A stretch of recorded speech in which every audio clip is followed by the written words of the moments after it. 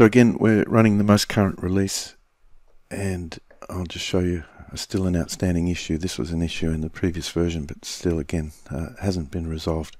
Let's go to our transform tools and we've got a, a simple cylinder here. It's like a, a, pipe or a tube I should say, or it's not a tube but it's a solid piece of wire. If I use the dynamic bend tools, which is here, well let me just zoom in and pick one of these edges.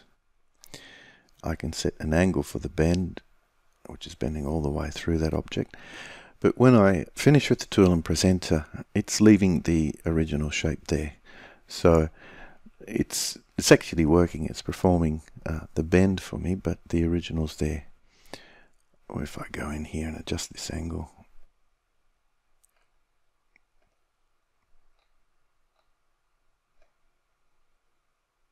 that's working fine.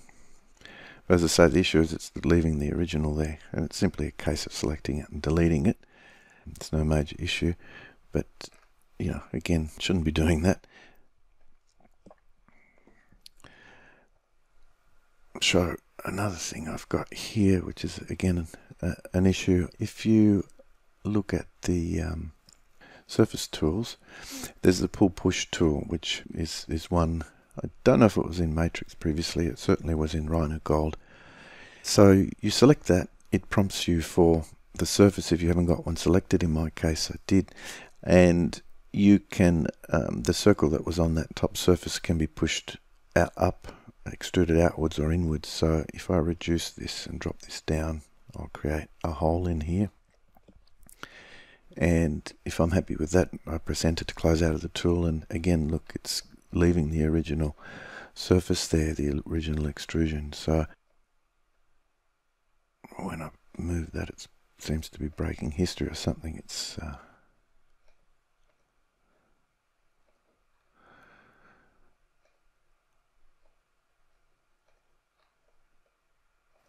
I, I can delete the original shape.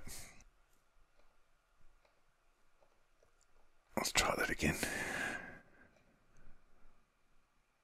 Yeah, you can delete the original, but again, it's, you know, a bug. It's really something that hasn't been addressed yet.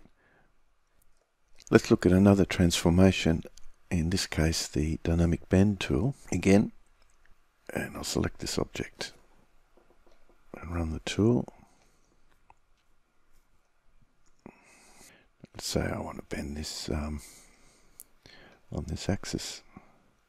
Let's bend this up. So there's the bend.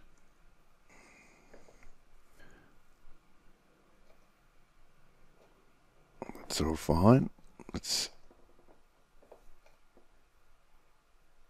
edit the pull push. Okay.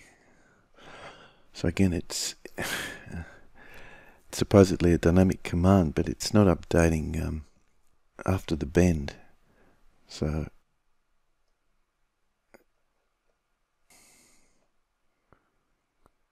that's really strange.